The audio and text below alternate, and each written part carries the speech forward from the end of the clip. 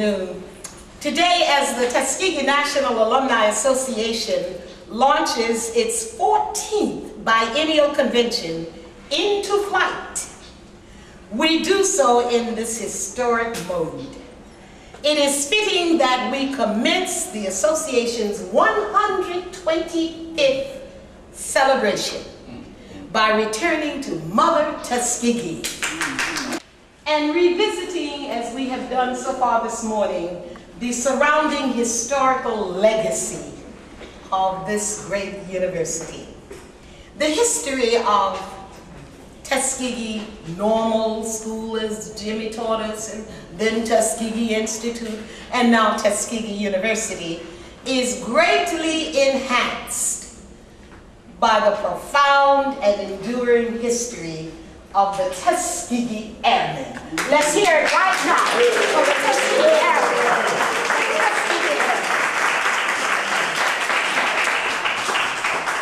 Moton Field was named, of course, after the second president of Tuskegee University, and you know who that was, Dr. Uh, Moton. And it was the training site, this training site where we are at this very moment, that changed the course of history in aviation. The story of fight and flight. Notice I said fight and flight of the Tuskegee Airmen is one of the most renowned stories. And it is a story, ladies and gentlemen, that should be told to every generation. If you children, grandchildren, great-grandchildren, great-great-great-great-great-great-grandchildren, mm -hmm. tell them the story yes. of the Tuskegee Airmen. The Tuskegee National Alumni Association is indeed elated today to recognize and honor two distinguished and living, hallelujah, hallelujah. living, hallelujah, legends whose names are synonymous with excellence in flying. Lieutenant Colonel Herbert E. Carter, who is retired,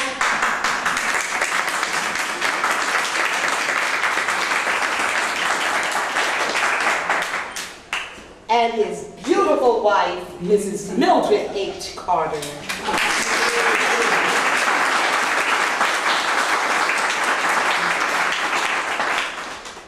Lieutenant Colonel Carter is an original Tuskegee Airman. All right. An original. Original. Original. No less older. Mrs. Mildred H. Carter is one of the earliest of black female pilots.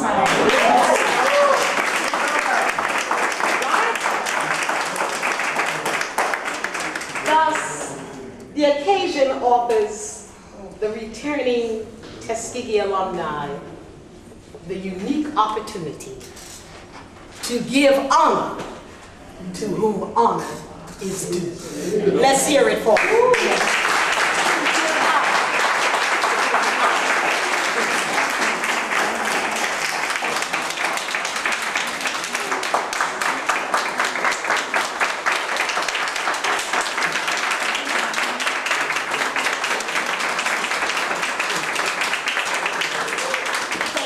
Let me begin, if I may,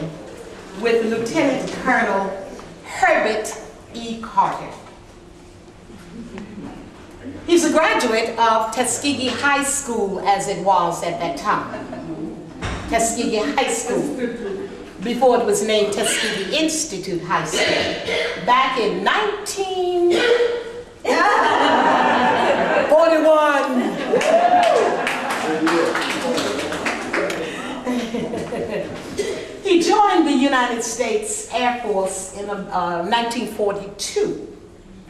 And he began his 26th tour as one of the original members of the 99th Fighter Squadron, whatever that is, Colonel, known as the Tuskegee Airmen. He flew 77 combats against the German and, and Italian Air Force in Northern Africa. He touched ground. His, his squadron achieved the outstanding record in close tactical ground support, whatever that is, of the Allied Army. Sounds good to me. Sounds like a winner to me.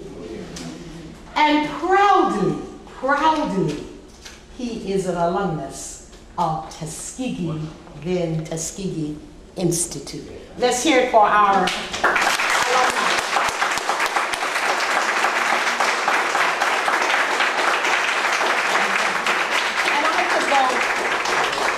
Go on and on and on, but ladies and gentlemen, the important thing is, and this is so beautiful, is that Colonel Carter, he would have been in Texas now because the uh, Tuskegee Airmen are meeting in Texas. But he's with us today. Texas, we love you. Colonel and Mrs. Carter, we love you most. At this time, I'm going to ask Mrs. uh, Lily Lanier, the immediate past president, if she would join the president in presenting the plaque. You know, I just want to say that it is an honor and blessing uh, for me, and I'm sure for everyone else, to just be in the room at this moment. That, that's, I, you know, it's so sad that um, so many people are missing this opportunity because I tell you, I take it as a sincere blessing that I'm in the presence of you both, okay? I, how, how lucky am I to say, I'll be able, when I get, hopefully get your age, I can say, I was in the room, okay? I was present and alive and attent, you know, of what was going on. So thank you for being here with us. Thank you. We are uh, honoring uh, Colonel uh, Colonel uh, Carter today for uh, just his diligence and uh, perseverance over everything. We, we have this plaque that says Tuskegee National Alumni Association presented to Returnal Lieutenant Colonel Herbert E. Carter Sr., Distinguished Tuskegee Airman for service to community and alma mater, 14th Biennial Convention, Tuskegee, Alabama, July 29th. Kimberly. Oh, Yeah, this is, this it's is good. history. You might wonder, well, why did I invite Mrs. Carter? Well, naturally, she's the spouse of Lieutenant Colonel Carter. However, she holds her own rank in aviation. Mrs. Mildred A. Carter dates her aviation uh, experience, and her aviation is one that has been hidden. Most, most of you did not know what I just told you about Mrs. Carter, did you? Did you? No. All right, teacher, or once a teacher, always a teacher. She is also a Tuskegee graduate and joins the rank of Tuskegee alumni. When the Army Air Corps announced that it was recruiting female pilots in the Women's Air Service Program, WASP, Miss Carter was more than qualified for the venture.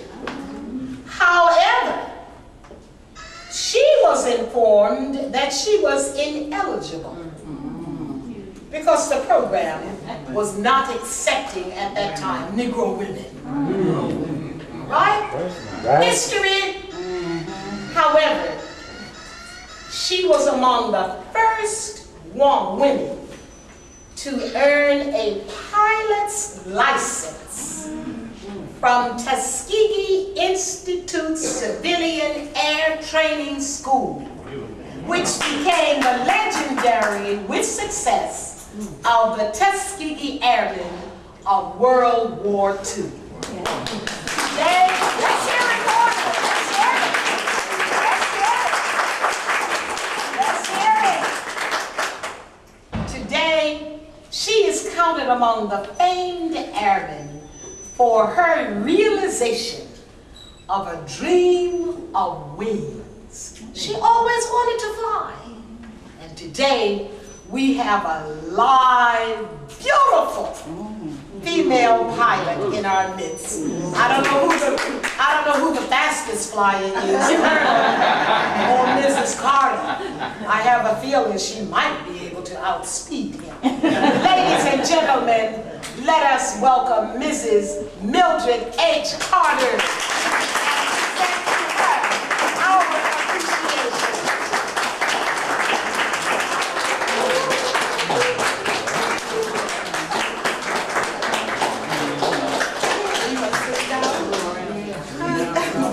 Got it in her face. Got it in her face.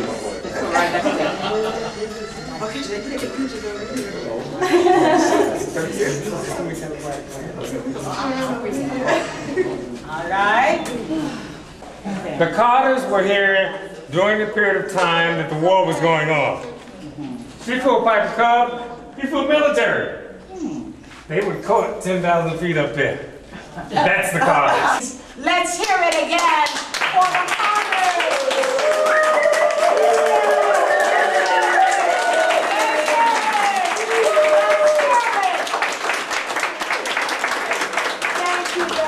very much.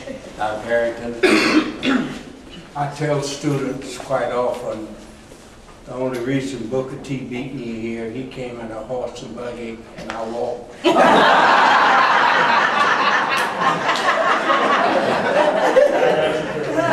All the way from Mississippi. But I came here ninth grade and of course, I got my master's at Tuskegee. How many of you entered Tuskegee between 1970 and 1985? I admitted all of you. Guilty. Guilty. Guilty! I would also dare ask, how many ROTC graduates do we have? Guilty! Right. Guilty, I, I served two ROTC terms at Tuskegee. Tuskegee is home to us. Mildred and I were both students here, as most of you know by now. I went military and she went motherhood and housewife. She tells everybody that she was always a better pilot, just didn't, didn't fly the fastest aircraft. But I, I, I want to say this, it has always been since my returning here in 1965 from the cold weather of Limestone, Maine, that uh, Tuskegee has been home for us. I'm 91 now, going on 100.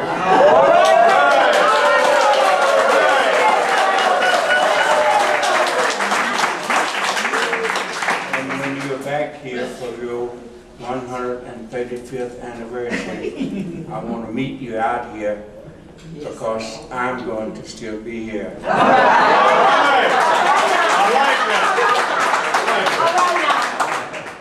Mildred and I finished our courtship over Lake Martin.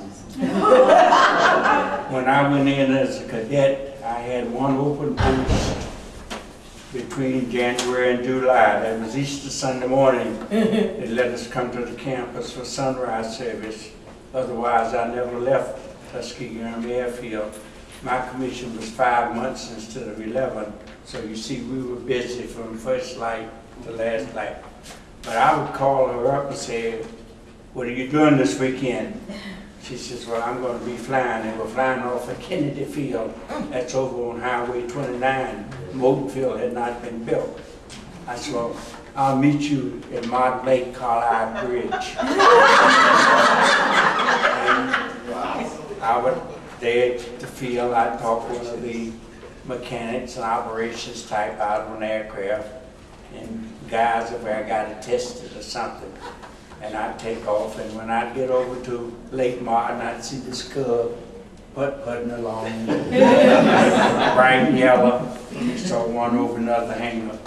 I'd pull down, my radio couldn't contact her, so I'd sit there in formation, and I'd wave, and she'd wave. I'd throw a few, she'd throw a few, being typical me, uh, finally, I would wave a goodbye and cool off like I was going back to Tuskegee Air Base.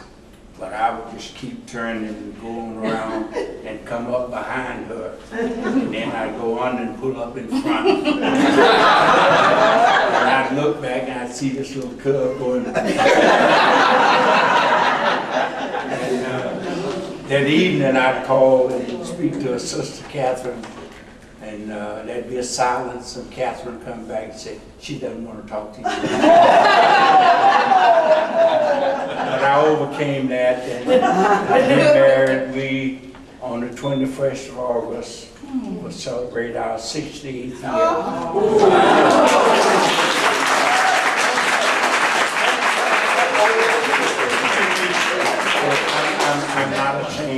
a good wingman.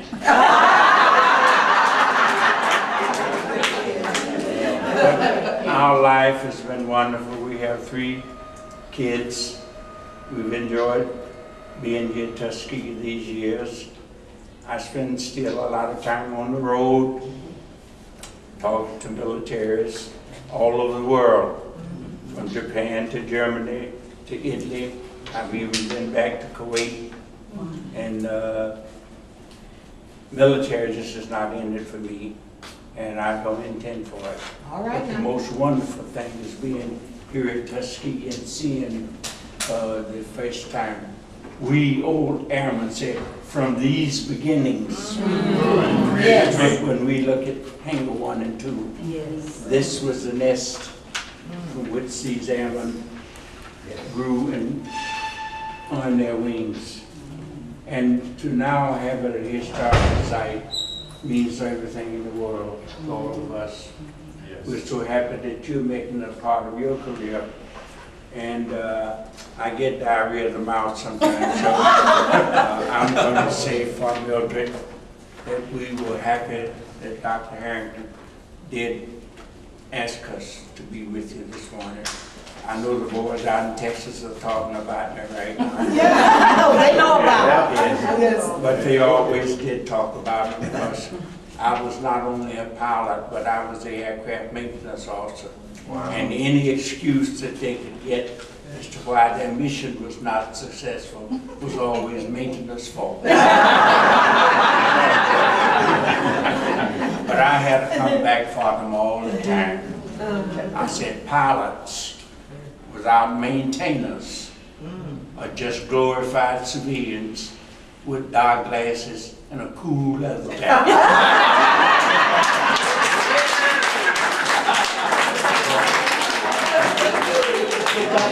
Mrs. Carter, would you please greet us in your own way?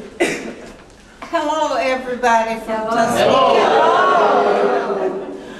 I want to tell you, this is a wonderful occasion, and it's so great to look out and see so many friendly faces, all smiling at me. Uh, I really feel like I'm part of the Tuskegee alumni now. Sometimes I haven't always felt that way because I walk into a group and though I might remember some faces, I don't remember names. I, but I say, now I know her, you know.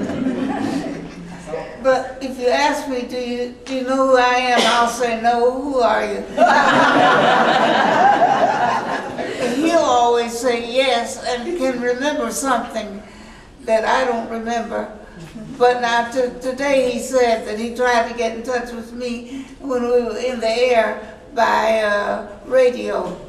What he forgot was there no radio, were no radios in the Piper Cub at that time.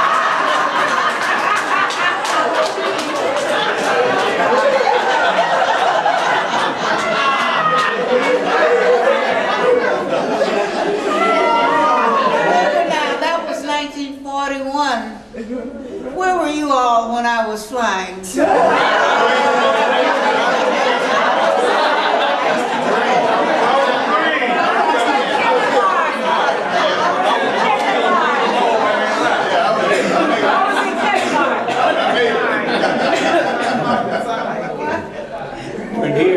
Uh, if you have any questions that you think I might have the answer to, please ask me.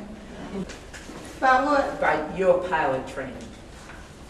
Oh, well, I had a wonderful instructor. Of course, Chief Anderson was over all of the instructors and the students and everything. And he was a close friend of mine and always said, uh, Mill, you want to fly? And I always said yes. I didn't know where he was going, uh, when, but he'd come out and pick me up and we'd come out here and take off in one of his airplanes. Maybe we were just going down to Mobile because he said he felt like having some shrimp. All right, here's a question up here, and then I see a hand back there. Uh, Colonel, uh, what class, they had number of classes, which class were you in? I was in forty-two F, fourth class, Forty-two F? yes. And Thank I you. was waiting for him.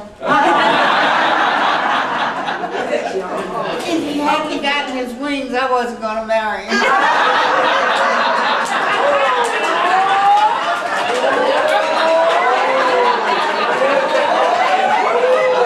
Did any more ladies follow after you when you were flying? Uh, Not exactly. Uh, There were other women who got their license here. Mildred Hanson, do you all remember her? She finished Tuskegee also. And uh, she worked out here as a secretary, and she learned to fly and got her license, I think. I don't really. Yes. Uh, I'd like to know, what were, how were you received uh, as a woman uh, in aviation and such a pioneer, Uh, especially by the men? Okay, when, when I applied, most of my classmates were applying also, and I just thought, well, all these boys think they're gonna go out there and fly. I'm gonna put my application in too, which I did, was not accepted at first. This person is two weeks too young. My birthday was on the fourteenth of September, and you had to be 18 by the 1st of September. And uh, so I applied again when I became 18. This time it was accepted. And I was treated very well. In fact, encouraged by all the other guys who were trying to get their licenses and going to night school and everything. And uh, they helped me as much as they could along the way. And it was a wonderful experience.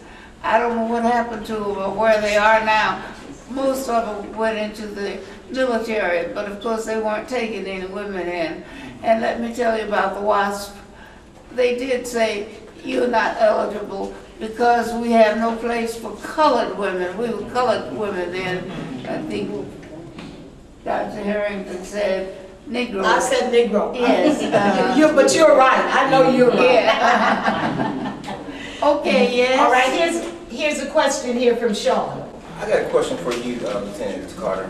So, the, the movie Tuskegee Airmen, um, you know, they, it was an adaptation of the Tuskegee Airmen experience. How much of that was actual and how much of it was dramatization, if you've seen the movie? You know, the one with Laurence Fishburne and Yeah. Malcolm Jamal Warner, all those guys. Several times. Uh, Quite a bit of it was uh, pigmentation of the imagination. Uh, So many, I picked, picked it to pieces, of course. Uh, uh, For the average person, such things as Mrs. Roosevelt flying with the cadet was not true. She flew with Chief Anderson. Okay. Mildred will know, you saw a picture over in the hand- other hangar with Mildred talking to Miss Roosevelt on that day. Uh, The, there was never an airman that killed himself by flying that aircraft in the hangar. All right. You know we love life, man. Thank you. Uh, and then, of course, as, as a pilot and maintenance officer, I just picked here and there, and it was fully done. And what you need to do, George Lucas is making, finishing up a film now. You will see a real movie of the Tuskegee Airmen. Okay. It's Is that the called Red Red Tail? Tails, and you will see the true story. The true story. My name is Gene Cummins and Colonel Carter, I'd like to uh, congratulate you for using all your faculties because you don't seem to be liking anything. Uh, uh, I'd like to know, uh, based upon what I've heard now, and I'd like for you to either validate it or not, that the Tuskegee Airmen, you had a lot of people qualified to become airmen, but they were not commissioned, so to speak. Could you address that issue? Because I understand you had a quota on who could get commissioned, is that correct? Well, first, the basic requirement, you had to have at least two years of college. You had to be able to pass the rigid physical, 20/20 eyesight, no color blindness, and depth perception, etc. The physical was the hardest part to pass, especially when it came to the weight, height, what have you. Coordination, maneuverability was the other.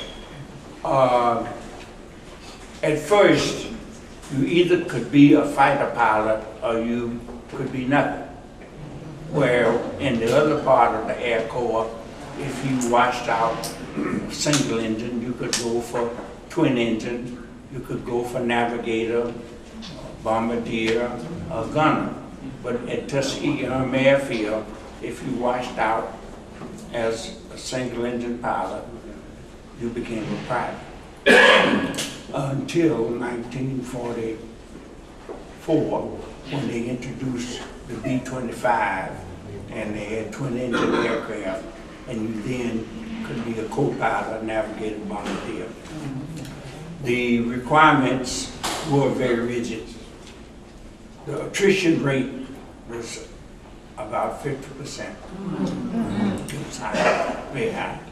Therefore, uh, the saying is, the airmen stood above the crowd. They, they, they were the cream of the crop, mm-hmm.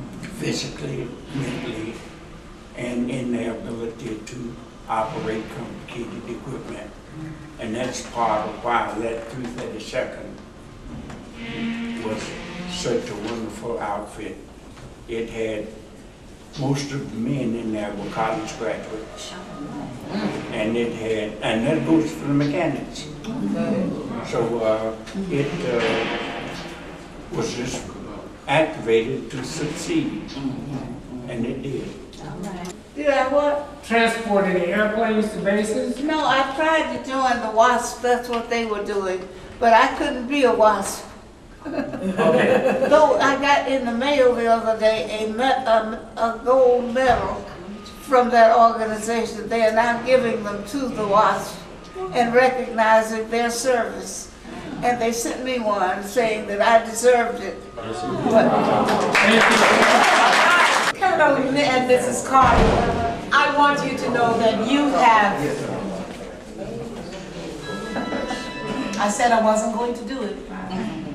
But when miracles happen like this, Mrs. Carter, you have to give way to your emotions. Okay. I want to say thank you on behalf of this Tuskegee Alumni Association. I'm going to let the president bring some closing remarks. But your son, where is your son? Oh. Hello, darling, stand up. That's my right hand, Colonel. That's my right hand.